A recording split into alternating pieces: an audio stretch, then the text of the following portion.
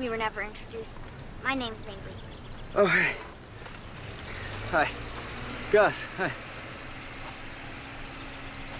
What are you doing here? I, I was in the mood for a picnic, um, and I thought this would be a nice place to have one. Right.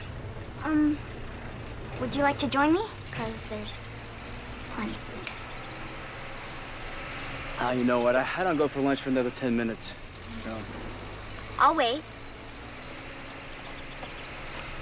Meet me by that cement mixer when, when you're ready. So last time I saw you, you were just getting back from a funeral. How you doing? Okay.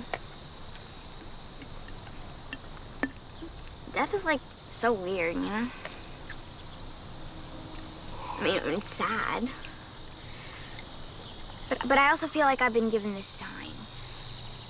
A sign which is telling me life is short. So you gotta do what makes you happy. You gotta, you gotta take chances and get crazy. And what are you doing to get crazy? I, pl- I play the flute.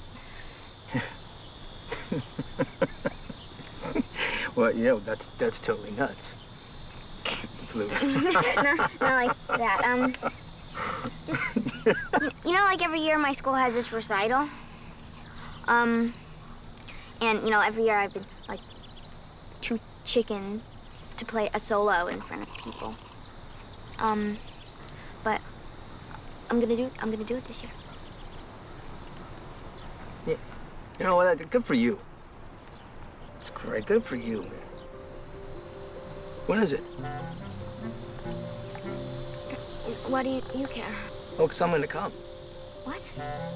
Yeah, You can't go. sure I can. Nobody goes to these things. I don't think my mom's coming. Well, you're gonna need somebody to root for you, right? and besides, I love music, and you know I owe you for this terrific lunch, right?